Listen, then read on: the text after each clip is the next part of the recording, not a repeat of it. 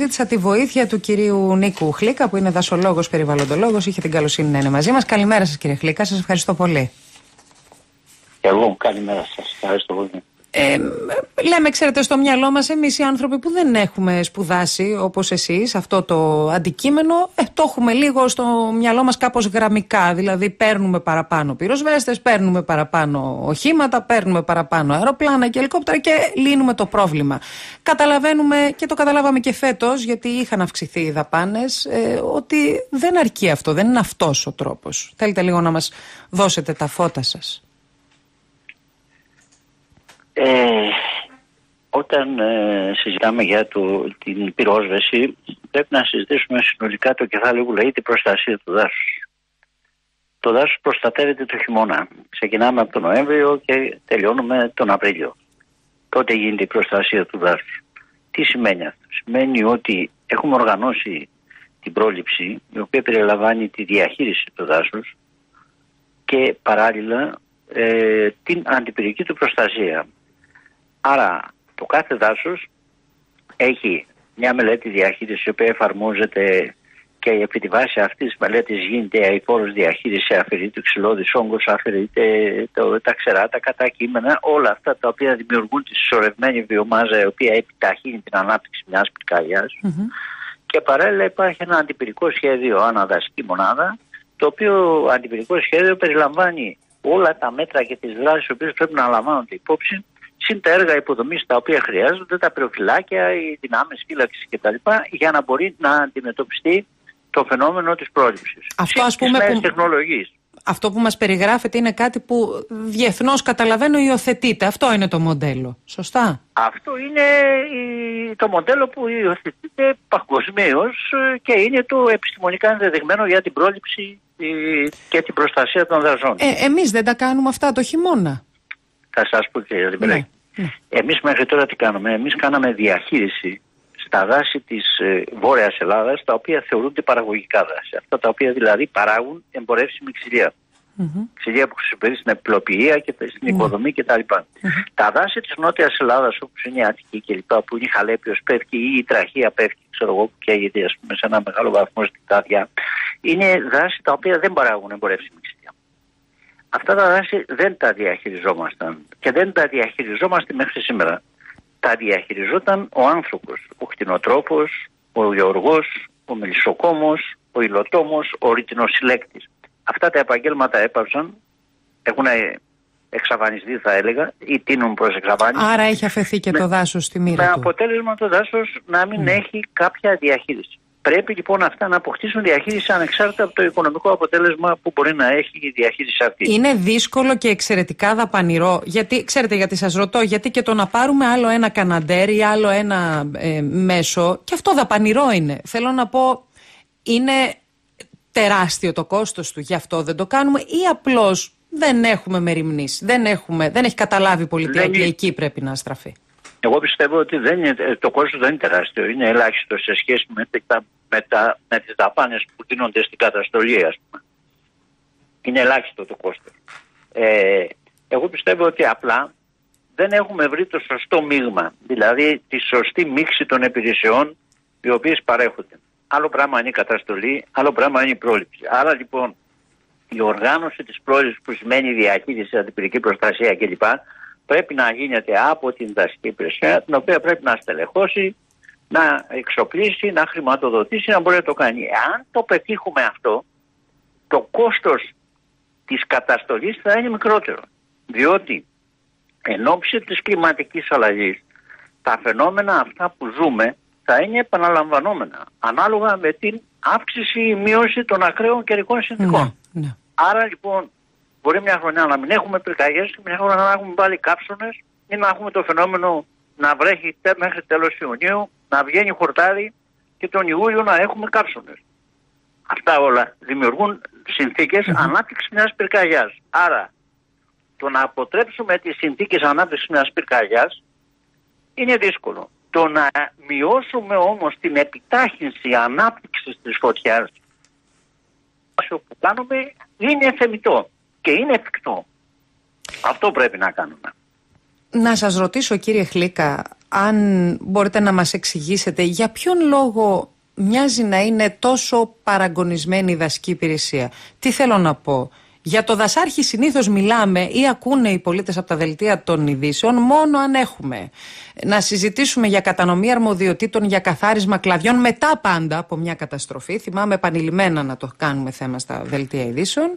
Ή αν θέλουμε να μιλήσουμε με όρους ε, δόμησης. Η δασική υπηρεσία στην Ελλάδα σήμερα τι κάνει στο κομμάτι της πυρόσβεσης, στο κομμάτι της πρόληψης των ε, πυρκαγιών, της αντιπυρικής θωράκισης της χώρας; Καταρχήν έχετε απόλυτο δίκιο. Αυτή η συζήτηση ανοίγει κάθε Αύγουστο και τελειώνει τέλος Αυγούστου. Είναι ένα επαναλαμβανόμενο φαινόμενο χωρίς αποτέλεσμα. Και συζητάμε πάντα, είχαμε πολλά αεροπλάνα, δεν είχαμε πολλά αεροπλάνα, δώσαμε πολλά λεφτά, ναι, δεν δώσαμε ναι, πολλά λεφτά. ναι. Επί της ουσίας δεν έχουμε πει ποτέ, παρότι, παρότι υπάρχουν πορίσματα. Ε, ακόμα, εγώ θυμάμαι το 90-91 κάναμε το, το πόρισμα της Διακομματικής Επιτροπής της Βουλής για τα δάση το οποίο ήταν και ομόφωνο, που ήμουν εμπειρογνώμονα τότε στην Επιτροπή της Βουλής και θυμάμαι ότι αυτό το πόρισμα ενώ είχε βγει, είχε τις σωστές κατευθύνσεις, τι έπρεπε να κάνουμε εδώ, δεν εφαρμόστηκε ποτέ. Ε, ερχόμαστε μετά, υπάρχουν άλλα πορίσματα, άλλες επιτροπές. Το πιο πρόσφατο θυμάμαι είχε... το πόρισμα του, του Goldhammer ναι, μετά το μάτι. Το οποίο είναι στην ίδια, στην ίδια κατεύθυνση με αυτό που είχε γίνει το 1991. Λέει πάντως η κυβέρνηση ότι σε μεγάλο βαθμό το, το εφαρμόζει. Άκουγα τον κύριο Σκέψο λοιπόν, Ναι, το θέμα είναι τι εφαρμόζουμε τι εφαρμόζουμε. Ας πούμε δίνουμε λεφτά. Δώσαμε, ξέρω εγώ, νομίζω 150 εκατομμύρια, 100 εκατομμύρια, κάτι τέτοιο για καθαρισμούς ε, τώρα, το 2022-2023. Ε, όμως, αντιπυρικό σχέδιο δεν είχαμε να δούμε τι κάνουμε. Διαχειριστική μελέτη σε αυτό το δάσος δεν είχαμε. Επομένως, τι κάναμε, κάναμε καθαρισμούς και συντηρήσεις δρόμου κλπ. Καλά κάναμε. Αλλά αυτά όλα όμως δεν έγιναν συντεταγμένα. Δηλαδή δεν έγιναν μέσα ενός σχεδιασμού. Η δασική υπηρεσία θα μπορούσε να το, να το αναλάβει αυτό και να το τρέξει. είναι, είναι, είναι καθήκον της. Αυτό πρέπει να κάνει. Για αυτή τη στιγμή τι κάνει. Ε, τρέχει να κάνει τους δασικούς χάρτες που δεν έγιναν μετά από 200 χρόνια και παράλληλα τρέχει να βγάλει πράξη χαρακτηρισμού για να κτίσει ο άλλος εκτός σχεδίου κλπ. Δεν είναι αυτός ο ρόλος της. Δεν είναι αυτό το αντικείμενό τους. Το αντικείμενό τη είναι να προστατεύσει τα δάση, να τα διαχειριστεί, να τα διαθέσεις σε εμάς για να μπορούμε να ζήσουμε. Αυτός είναι ο ρόλος της δασικής υπηρεσίας. Κύριε Χλίκα, τι διαφορετικό θα συνέβαινε, γιατί το είδα να γράφετε και σας ομολογώ την άγνοια μου για άλλη μια φορά. Τι διαφορετικό θα συνέβαινε αν δεν ήταν τόσο υποστελεχωμένα τα δασαρχεία στην Πάρνηθα, στο Σουφλί, στο. Θα είχαμε καλύτερη φύλαξη, θα είχαμε καλύτερη φύλαξη, θα είχαμε διαχείριση, άρα λοιπόν θα είχαμε αποτρέψει ε, τους παράγοντες επιτάχυνσης μιας πυρκαγιάς και θα είχαμε έγκαιρη προειδοποίηση. Ο δασολόγος, λοιπόν, ναι. ναι. Άρα λοιπόν νωρίτερα θα είχαμε την επέμβαση, επομένως νωρίτερα θα σβήναμε μια φωτιά. Πείτε μου και κάτι ακόμη. Ο δασολόγος την ώρα της πυρκαγιάς έχει να δώσει τα φώτα του, έχει να βοηθήσει με κάποιον τρόπο τι τις, ε, ομάδες που επιχειρούν, έχει ε, να δώσει κάποιες κατευθύνσεις. Σας ομολογώ, δεν δε γνωρίζω αν παίζετε κάποιο ρόλο η ειδικότητά σας και την ώρα της πυρκαγιάς. Κα, καταρχήν θεωρώ ότι όλες οι δυνάμεις πρέπει να συνεπάρξουν για να έχουμε το καλύτερο αποτέλεσμα. Ο δασολόγος πρέπει να βρίσκεται εκεί την ώρα της πυρκαγιάς. Πρέπει να βρίσκεται εκεί διότι είναι ο μόνος ο οποίος γνωρίζει τη σύνθεση της βλάστη, ξέρει τα μονοπατιά, ξέρει τους δρόμους, ξέρει που θα βρει νερό, ξέρει πώς πάνε οι κατευθύνσεις και ξέρει πού ακριβώς μπορεί να κόψει τη φωτιά. Έχει τη γνώση της περιοχής την οποία ο άλλος δεν την έχει ο άνθρωπος. Σωστά, γιατί ο πυροσβέστης δεν είναι εγκατεστημένος σε μια μπορεί να δασική. Κάνει τη δουλειά του πολύ ναι. καλά, αλλά δεν έχει τα δεδομένα, δεν έχει και, και, και δεν έχει και τη γνώση. Δηλαδή, ο άλλος ξέρει τι, τι είναι. Αυτά καίγονται εύκολα. Εκεί θα σταματήσει. Εδώ έχω κενό. Εδώ έχω μεγάλη βλάστηση. Τα ξέρεις. Έχετε να μας δώσετε μήπως και την εικόνα για τη δασική υπηρεσίας στην Ελλάδα, για το αν χρειάζεται και πόσα στελέχη, γιατί σε ποιο βαθμό είναι υποστελεχωμένη, από ό,τι καταλαβαίνω είναι. Εγώ επειδή υπήρξα δημόσιος υπάλληλος για 10 χρόνια στη ζωή μου, ε, ήμουνα στην δασική υπηρεσία τότε που είχε 1.200-1.300 δασολόγους και λέγαμε ότι είναι ε, ελλειπής. Σήμερα νομίζω είναι γύρω στους 500. Καταλαβαίνετε ότι είναι πάρα πολύ ελλειπής. Και στον πυρήνα του θέματος, γιατί τώρα δυστυχώς ό,τι έγινε δεν ξεγίνεται, όπως λέμε πάντα. Ε, πόσα χρόνια θα χρειαστούν, ε, έχετε σαφή εικόνα; Δεν θα μιλήσω για το εύρος της καταστροφής, γιατί ακούω ότι και εκεί, ναι. ούτε εκεί δεν μπορούμε να συμφωνήσουμε με, το, με τους δορυφόρους. Ε, η φυσική αναγέννηση θα ξεκινήσει από την, ε, άμεση, από την πρώτη βροχή που θα σκάσει θα αρχίσουν να βγαίνουν τα πευκάκια. Το θέμα είναι ότι στην πρώτη πενταετία ε, ο σπόρος που πέφτει, ε, πέφτει σοριδών. Από κάθε κουκουνάρι θα πέσουν 50% σποροι Ε, άρα μέσα στο στρέμμα μπορεί να βγουν και χίλια πεύκα. Για να γίνει ένα δάσος πρέπει να μην έχουμε πάνω από 60-70 πεύκα το στρέμμα. Εκεί χρειάζεται επομένως παρέμβαση. Χρειάζεται αμέσως παρέμβαση διαχειριστική κτλ. Εάν τα κάνουμε όλα αυτά και δρομολογήσουμε μια τέτοια διαδικασία, μπορούμε σε 20-30 χρόνια να προσδοκούμε ότι θα έχουμε ένα δάσος. Ε, όμως η εμπειρία λέει ότι δεν τα κάνουμε. Και ότι στη φυσική αναγέννηση βγαίνουν και παραμένει ένα τέτοιο πυκνό, ε, πάρα πολύ πυκνό δάσος το οποίο ε, δεν μπορεί να αναπτυχθεί. Άρα ε, αυτά τα πεύκα που μας λέτε ότι μπορεί να είναι και χίλια δέντρα σε ένα στρέμμα ας πούμε δεν μπορούν να αναπτυχθούν και να γίνουν Όχι, αυτό; Μα δεν γίνεται. Δεν έχουν ούτε την, ε, ούτε τη δυνατότητα το έδαφος να τα θρέψει αλλά ούτε και το χώρο δηλαδή για να αναπτυχθούν.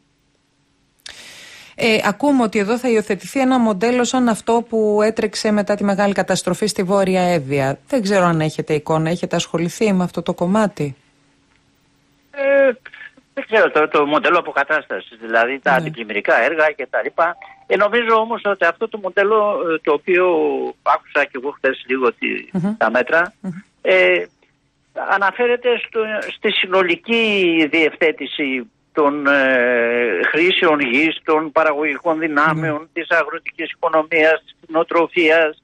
Δεν αφορά μόνο το δάσος δηλαδή. Είναι ένα ε, μοντέλο το οποίο μιλάει για την ε, ανασυγκρότηση της ε, περιοχής και οικονομικά. Ναι, σωστά. Και ό,τι αφορά το δάσος πιστεύω ότι θα τρέξουν ας πούμε, αμέσως τα αντικειμενικά έργα για να προστατεύσουν τα έδαφος από τις διαβρώσεις και να προστατεύσουν και τα κατάντια από πλημμύρες και με φερτά ειδικά και, και φραγματάκια σε μικρά ρέματα ώστε να μειώσουν τον όγκο των φερτών υλικών για να μην έχουμε πλημμύρες. Συνήθως αυτά είναι τα μέτρα τα οποία παίρνουν άμεσα εντός του δάσους. Τα άλλα φαντάζομαι όπως και στην Εύβοια θα αφορούν ένα μοντέλο ανασυγκρότησης οικονομικής τη περιοχής. Μάλιστα. Λοιπόν, κύριε Χλίκα, σας ευχαριστώ πολύ για το χρόνο που μας διαθέσατε. Να είστε, καλά. Ε, να είστε καλά κι εσείς. Ο κύριος Νίκος Χλίκας, δασολόγος περιβαλλοντολόγος.